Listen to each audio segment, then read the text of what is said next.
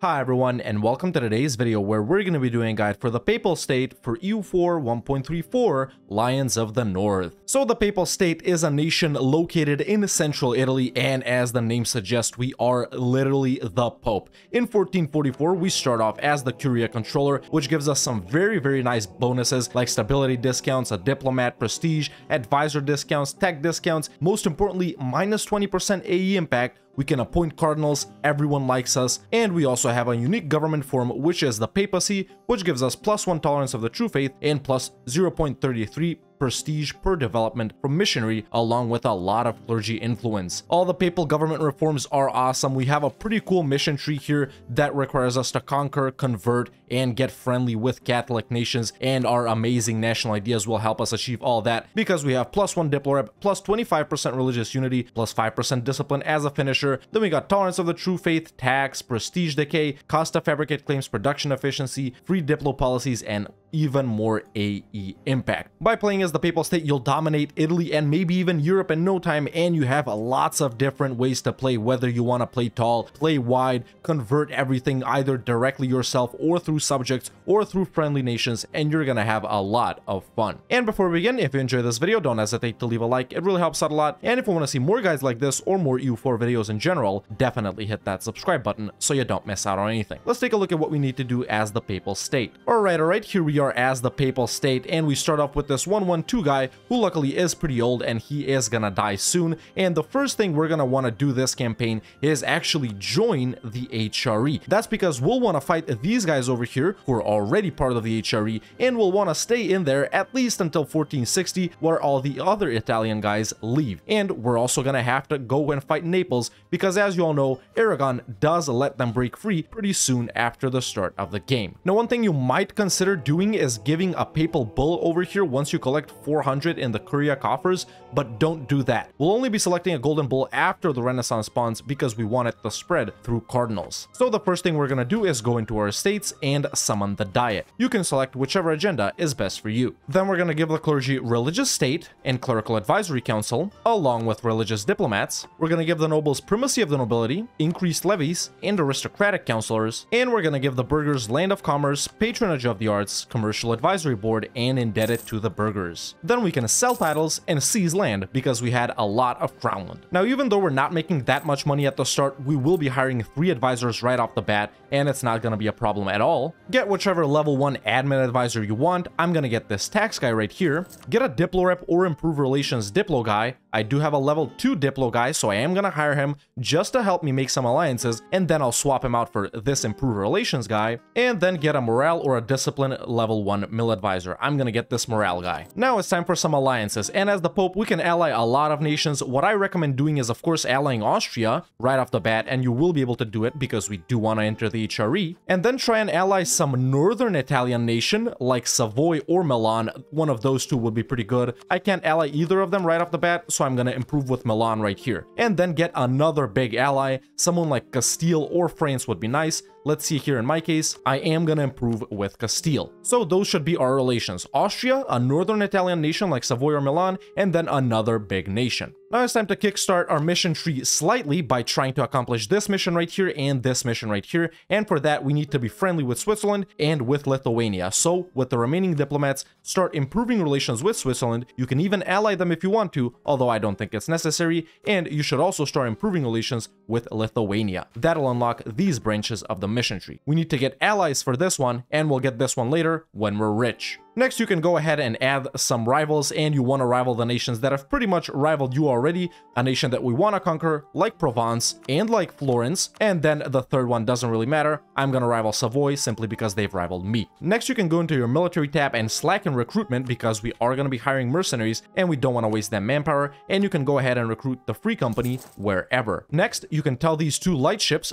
to protect trade in Genoa and go home during war, and then build up a couple of more light ships I would recommend 10, and don't worry that we're gonna be going over force limit. As you can see after you unpause, you will be able to enact a golden bull, but like I said, don't do this yet, we want to wait for the renaissance to spawn. After you've allied Austria, start improving relations with them as well, because we do need our relations to be 141 as we can see right here to enter the HRE. At this point, you can lower army maintenance just like this and turn off your fort, because we do want to save a little bit of money before we start getting into wars. Now that I've secured my alliance with Milan over here by improving relations with them, I am to start spying with the last free diplomat, and we are to start spying on Aragon right here, so we can get claims on Naples. At this point, I can also ally Castile, and that's my alliances pretty much sorted. Yours should look a little something like this too. Maybe you've also allied Switzerland. Once you do get three allies, you will be able to take this mission right here, where we gain some Diplo points. Once you free up another diplomat, start spying on Siena. Once you've improved with Switzerland up to 100, and this will be easy unless they rival you, which does happen sometimes, you will be able to take this mission right here, where the Swiss Guard Mercenary Company becomes available to us. And we also get plus 10% Merc Discipline for 20 years. There we go, they will defend the church well. And this Merc Company also does not cost us army professionalism when hired. Once you've improved with Austria enough, you will be able to join the HRE and you should do that. After that, you can use the diplomat that's been improving with Austria to improve with Lithuania. And once you gain a little bit of manpower after the game starts and once you complete this mission, you will be able to take the mission Catholic Volunteers, which gives us a general with 60 tradition, which is pretty nice. You can put him in charge of your army. Mine's pretty good right here. You can also tell the diplomat that's been improving with Switzerland to spy on Provence. Once you improve up to 100 with Lithuania, you will be able to take this mission right here, and basically Lithuania will start converting all of these Orthodox provinces to Catholic. This branch right here basically helps other nations be more Catholic and stuff like that. Once you improve Lithuania, you can use that diplomat to improve relations with the Holy Orders, which are basically the Livonians, the Teutons, and the Knights. Start with whichever one has the highest opinion of you, and then improve improve with those. All of these are 50 in my case, so I'll just start improving with the Livonians for no particular reason. At this point, you can also start building 5 more galleys. And there we go, a couple of years after the game starts, you will get the Neapolitan Succession event, where Aragon is gonna let Naples go 99% of the time. And that's precisely what happened in my case. By this point, you should have built up at least one claim on Naples, and I have on the province of Naples itself. After this happens, Naples will have, of course, no allies whatsoever, and that's the moment where you should raise army maintenance, activate your fort, and declare on Naples immediately. You will be able to defeat them by yourself, you can call on an ally if they're willing to come, but there's totally no need. Of course, there's another event that pops up that gives us a subjugation CB on Naples, where basically they want us to vassalize them, but they're too big for vassalization anyway, and we're just gonna take provinces from them anyway, so no need to wait for that event, declare on Naples immediately. Of course, prior to that, you should check and see if you can excommunicate them, but that doesn't really happen too often. So if you can, excommunicate them and then declare. If not, simply go ahead and declare a regular war. And there we go. That's our first war started. It may have happened a little earlier for you or a little later. It doesn't matter. It's still the first war. Since it might be a siege race, you may want to activate the defensive edict in your capital. There's not really a need, but why not? And once this very quick and easy war is done, here's what you're gonna take from Naples. As you can see, I've managed to full siege them before they even got one of my provinces. So, when piecing out Naples, I do recommend taking the capital, which is basically the most valuable province. It's a center of trade, and it has a monument as well that we might put to use later, but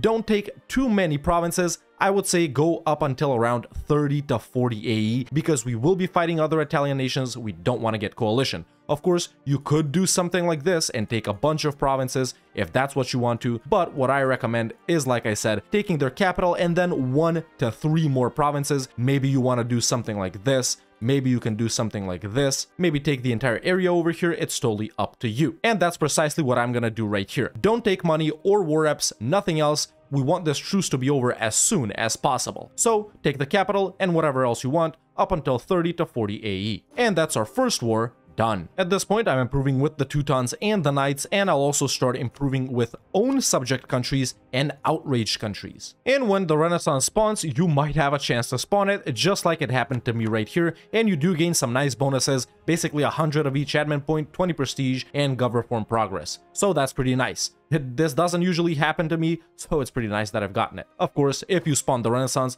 then that's great, you might be able to embrace it right away. If not, you'll get it quickly, since it spawned in Italy anyway. And when the Renaissance does spawn, I do recommend activating the Encourage Development State Edict in your capital right here and deving Rome up to 30. You should do this even if you spawn the Renaissance yourself, because we want to tick off the age objective for a province with 30 dev. So just bump it up once in admin and dip, and then a couple of times in mill, and you'll be all set. Of course, only do that after you've gotten Tech 4 in every category. When you do embrace the Renaissance, you will be able to take this mission right here, found the Vatican Library, where this event happens. And you can choose basically one of these three options, get an admin tech discount and minus 2 national unrest, get a diplotech discount and plus 1 diplorep, or get a miltech discount and plus 50% army tradition from battles. Now, depending on what your goals are for this campaign, you can choose whichever one of these you want, whether you're playing tall, playing diplomatically, or through conquest, but most likely you're going to be choosing this last option because I do think it's the best, and you would probably agree. So this is definitely the one to go with, but you can choose one of these two if your goal is different. Of course, you should offer knowledge sharing to whichever nation will accept, try and find the richest one, Castile will give me 1.94 ducats, Austria will give me 1.69, England will give me 2.84, so I will sell it to them first. At this point, you can also set some provinces as provinces of interest right here, mainly Arezzo, so your subjects can spy on it. After you improve with all the three orders up to 100 opinion,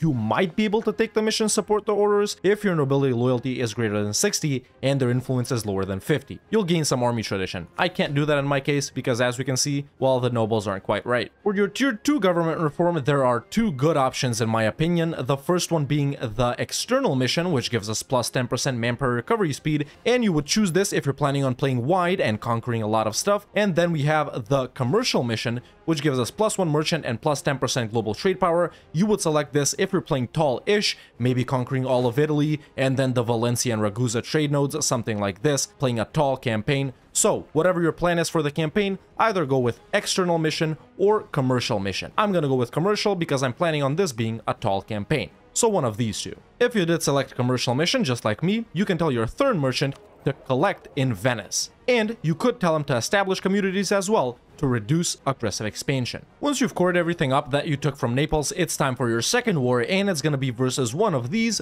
three nations, depending on whichever is the easiest to fight. Siena, Florence, or Provence. Once again, before declaring your war, go ahead and check to see if you can excommunicate any of the nations you're about to fight. I can't do that in my case, so it doesn't matter, and declare on whichever one is the easiest. In my case right here, Florence would be the easiest, but I still don't have a CB on them, so I am gonna go ahead and hit Provence because very, very luckily, they're not allied to France anymore. And this might happen in your game too. If they're allied to France, don't worry, you can still catch them off guard at a certain point. So I'm gonna go ahead and declare on Provence for the conquest of this province right here. And since they do have a, quite a few allies, I am gonna call in Castile and Milan to help me out. And that's my second war. Like I said, either Provence, Siena, or Florence depending on whichever is the easiest to fight. At this point, I am also going to enact a golden bull, and that's going to be this one right here, where the cardinals spread an institution. You can change this every time your current ruler dies or whenever a new Curia controller pops up. And I'm just going to white piece Naples here, since I want to cut my truce short. At this point, my war with Provence is pretty much done, and I'm ready to peace out. And if you're fighting Siena, of course you're going to full annex them.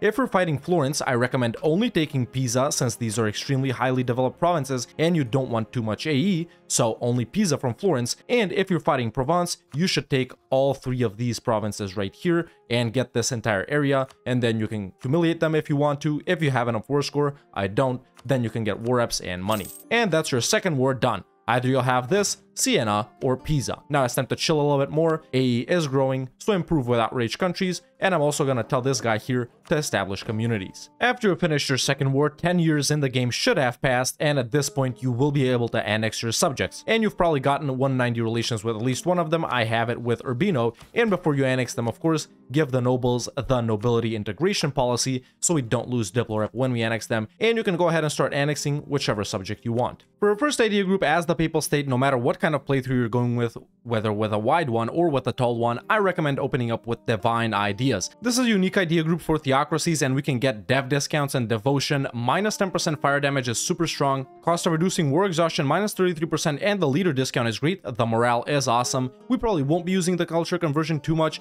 but the unrest and the manpower in true faith provinces means we get basically plus 20% national manpower from this, and it does have pretty nice policies with other idea groups that we're gonna take. So, Divine Ideas for your first idea group. After this, you can focus on Mel. As you all know, at some point during the game, the Ottomans will declare war on Albania, and because Venice guarantees Albania always, they always get dragged into that war. And when this war happens, when the Ottomans fight Albania and Venice, is precisely when you should also declare on Venice. Now, Austria will probably help you out, along with her other northern Italian ally. My alliance with Milan broke when we were fighting Provence, they made them break it with me, so I don't have a northern Italian ally, but when this happens, go ahead and declare war on Venice for the reconquest of your core right here. You may be able to beat them by yourself if the alliance situation is something like this, however, if all of their allies come in, you will need Austria's help. So if you're ready and if everything is going according to plan, go ahead and declare.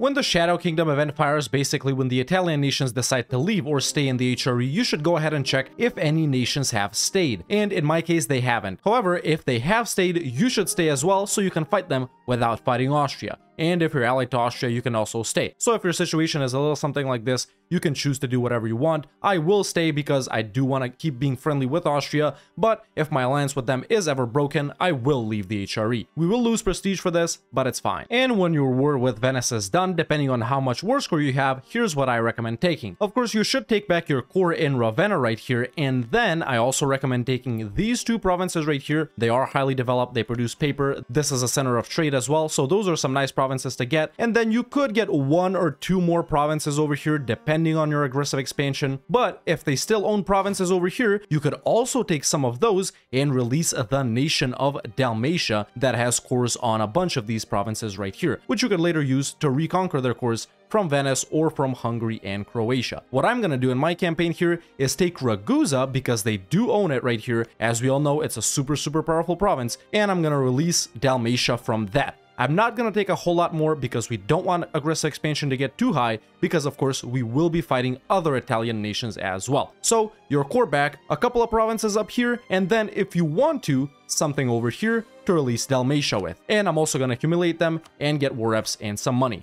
And that's my war with Venice done. Your conquest should look a little something like this as well. And now I'm going to go ahead and release the nation of Dalmatia from Ragusa. They have cores on five more provinces over here, these provinces. For your naval doctrine, I recommend selecting either Fjordsman for galley combat ability or Merchant Navy for ship trade power. I am gonna get the trade power.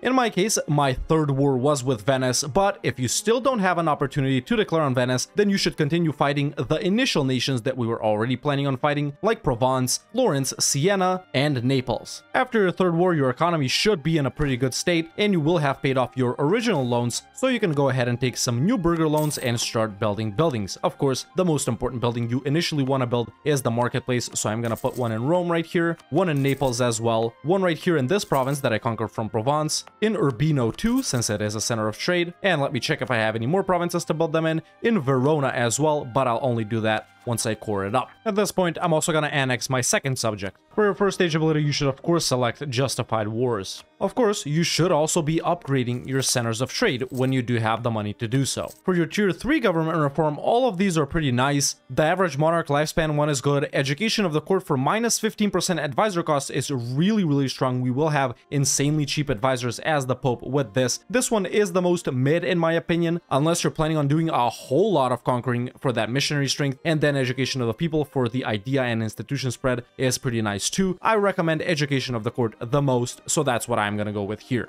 At this point, our advisors are about 35% cheaper, along with the 25% from the estate privileges, we're already at 60% advisor discounts. And at this point, you may be able to start running level 2 advisors. So I am gonna get this morale guy right here, this trade efficiency guy right here, and this production efficiency guy right here as well. And we're still making a whole lot of money. Once you've chilled a bit and aggressive expansion has cooled down, it's time to continue your conquests. And after you've already done the three wars, you can pretty much expand into any region in Italy. In my case right here, Naples have even taken back some of their cores in Sicily. You could declare on Naples and vassalize them and use them to reconquer their cores from Aragon or Castile later on. In my case, also Sardinia has popped out, so that's an expansion opportunity for me. Basically, look for the easiest nation to fight with a slight preference towards subjugating Naples or conquering these provinces up here, which we do need to conquer for this mission right here. So in my case, I'm gonna go ahead and declare on Ferrara right here. And I am gonna call on Austria to help because we do have a pretty big Savoy here.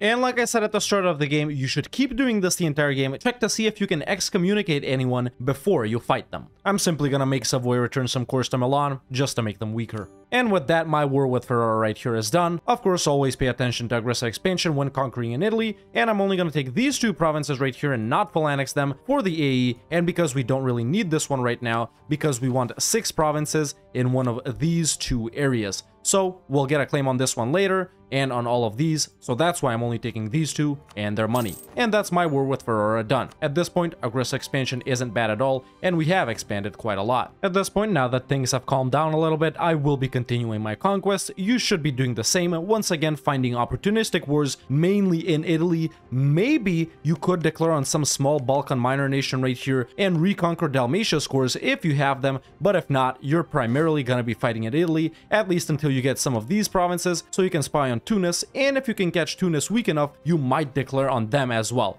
In my case, they're allied to the Ottomans, so that's not going to be happening. In my scenario right here, I am going to be declaring on Florence because they have gotten fairly strong, they have all of Tuscany, so we do need to knock them down to size a little bit. And I'm going to declare for Pisa right here and call on Austria just so I can use their navy to help me go beat up Sardinia. And that's my further war started. You may be fighting some of the northern guys, this may be a right opportunity to fight Provence, you may be hitting Venice if they're fighting the Ottomans, or you may be fighting Naples. Now that I've defeated Florence, let's check and see which provinces I can take without getting too much aggressive expansion. Of course, the most valuable ones are Lucca, Pisa, and Florence because of their centers of trade, and Siena because it produces glass, or maybe even gems if they got faceting. You may of course already have Siena if you fought them first, but it doesn't matter, just go ahead and check and see. And if I take Lucca right here, it's only 11 AE, and with Pisa it's 21, we're still good, no coalitions, and with Florence, it's only 35. If you've excommunicated them, it's even less, so take as much as you can when fighting anyone, while also keeping an eye out on aggressive expansion, because even if we don't get coalitioned, that aggressive expansion will prevent us from expanding even more. So we want to pop off a few small wars here and there instead of one or two big ones where we take a lot. And that's my war with Florence done. After we opened up with divine ideas for our first idea group, for your second idea group, if you're planning on playing a tall campaign, like I said, you should go with trade ideas. If you're planning on blobbing out a whole lot and conquering whatever you want, maybe pushing into other continents as well, then you should go with religious ideas or maybe admin ideas as well. So trade for tall and religious for wide, maybe admin. I'm gonna go with trade because like I said, this is a tallish campaign that I'm doing. Once you have 500 ducats and no loans, you will be able to take this mission right here, which is pretty nice. And because we have a lot of money in the Curia treasury, you will also most likely be able to take this mission right here, where we gain some prestige. Now that things have cooled down a little bit with the aggressive expansion, I will be continuing my conquests, this time declaring on Bologna, and I'll be most likely full annexing them, but most importantly, I'm getting this province right here, so I can unlock the mission Patrimony of St. Peter, where we gain some further claims by owning 6 provinces in these two areas. So, I'm fighting Bologna, you could be fighting any nation in Italy like I said, maybe a Balkan minor, maybe in Tunis if they're weak enough. And now that my war with Bologna is done, I will be full annexing them. Once you get 6 provinces in Emilia-Romagna and Marche Abruzzo, you will be able to take the mission Patrimony of St. Peter, where we gain further claims on these provinces right here. For your tier 4 government reform, if you're going wide and planning on conquering a lot, you should take Head of the Catholic Church, where we gain some additional bonuses while being Defender of the Faith besides the ones we already already get. Religious Diplomats doesn't have an impact on influence or absolutism, so we get that privilege for free, and we also gain Devotion, Absolutism, and minus 10% a point cardinal cost. So take this if you're planning on going wide, and if you're planning on playing tall, I think you should take curtail clerical privileges because the clergy are already really influential, and we also gain a nice minus 10% admin tech discount. So this for blobbing, and if you're not blobbing, take this. You could also go with maintain balance of power, that one's not bad either. At this point, you should be continuing your conquest, once again in Italy like I said. In my case, I'll declare on Sardinia right here.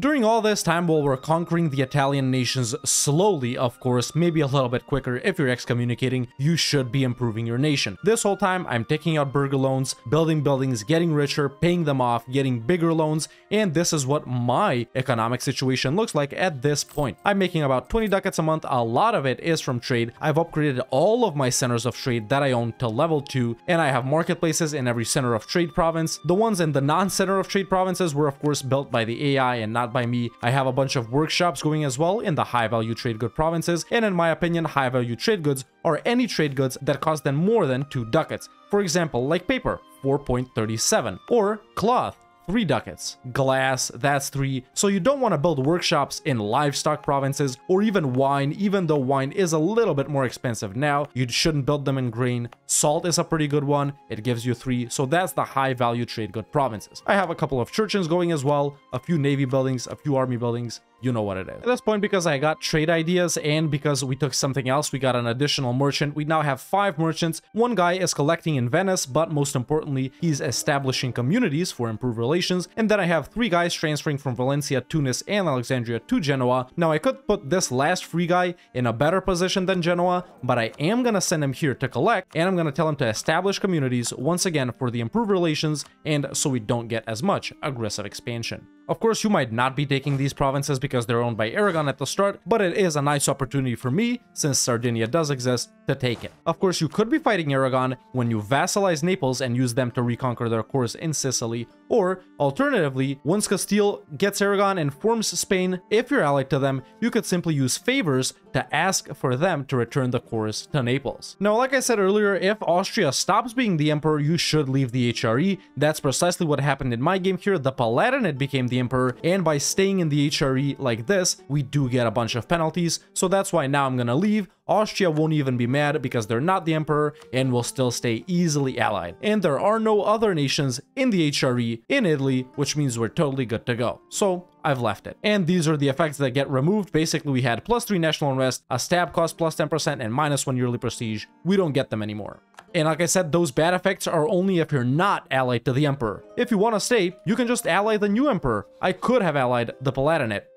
Or maybe not. And now that my war with Sardinia here is done, I will be full annexing them. These are cheap provinces, so I don't need to worry about aggressive expansion. Now that I've chilled a bit, I'll be declaring my next war. Of course, you'll be doing the same, and this time I'll be fighting Naples. I'll also call on Austria to help me deal with Venice and Savoy. Once again, we're simply doing opportunistic wars while we take care of the entirety of Italy and maybe a little bit of here and here. At this point, since I have a thousand ducats and I've built all the relevant buildings that I can, I will start the construction on St. Peter's Basilica. Now that my war with Naples is done, here's what I'm gonna do, and you may do something like this as well if they look a little bit like this. Of course, you would probably have vassalized them earlier and then you would be reconquering their cores from Aragon or Castile, but in my case, since they look like this, what I'm gonna do is take Messina right here, so I can pop out the nation of Sicily and then reconquer Sicily's cores, and then I'm gonna take like these provinces over here. Of course, I could take a lot more, but once again, we don't want too much aggressive expansion because we'll be fighting other nations as well, and we don't want our conquest to slow down. And no money, no war reps, just this, so my truce can expire quicker, and I can reconquer Sicily's cores quicker, and then full annex Naples. And that's my war with Naples done, and like I said, I will be popping out the nation of Sicily. And there we go, they have 5 more cores that I can reconquer from Naples. And since I have a thousand more ducats, because I got burgher loans, I could upgrade the royal palace of Caserta to level 1, or I could bump up a center of trade to level 3, and that's precisely what I'm gonna do